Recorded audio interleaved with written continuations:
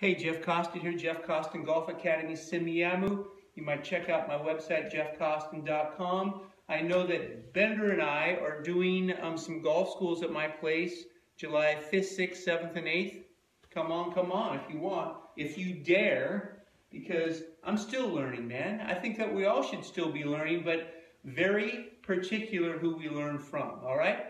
And so, man, I'm, I'm, I'm, I'm still, I think my best golf can be ahead of me if I can keep this earth suit rocking and rolling because I'm better than I used to be, but not as good as I'm going to be.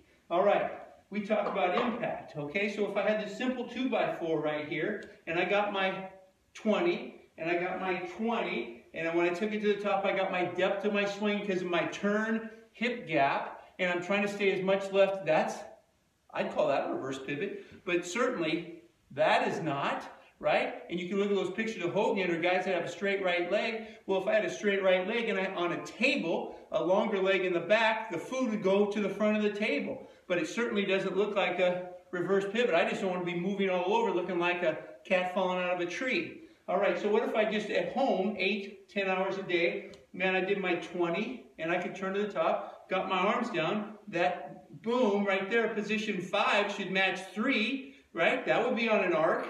And then six, boom, and then impact, boom. And my shoulders are square, hips open, hands forward, weight left, get my arms down. Now I can just turn through on my 20 on the through swing, man. And guess what? Boom, shakalaka, I got a golf swing.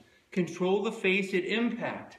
Control the hands, follow the rotation of the body, staying close as I get my position three and through, right? My hands staying close, they don't go out, my body doesn't stop, my body doesn't turn and release the club early. Turn, arms, turn, arms on my arc, Coston out. Always want to be a rock star.